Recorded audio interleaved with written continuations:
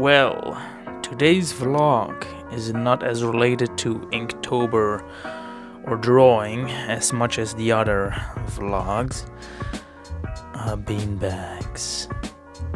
Today's vlog will feature mostly some random footage of my school day. Stop! Oh, tea. Oh, berries. And oh, some are less, less attractive berries. Pokemon. Pokemon. Pokemon. I didn't do uh, drew uh, those, by the way. Those are uh, random encounters.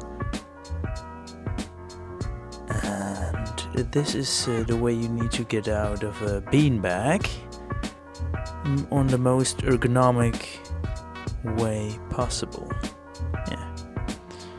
And here I am um, tearing into paper, and that uh, I did it.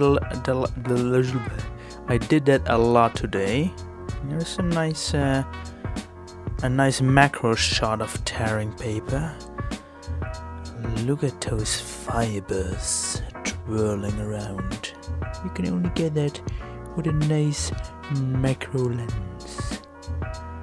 Here I'm starting to ink my Inktober drawing with the prompt Poison of Inktober and the prompt uh, Doomsday from Drawlloween. I really didn't know what to do with Doomsday, so it was really obvious just draw a paper with the word Doomsday on it and the, and the date of today, which is the 3rd of October.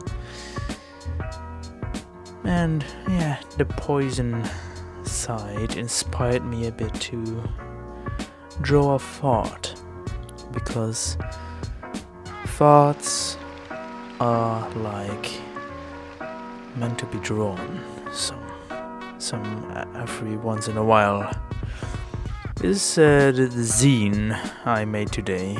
Just some as you can see the day number two Inktober drawing there and some things that inspire me some things that I made myself and uh, some other random snippets you gotta keep yourself busy during these creative endeavors. Yeah, some inspiring things there. Drawing some spheres in 3D.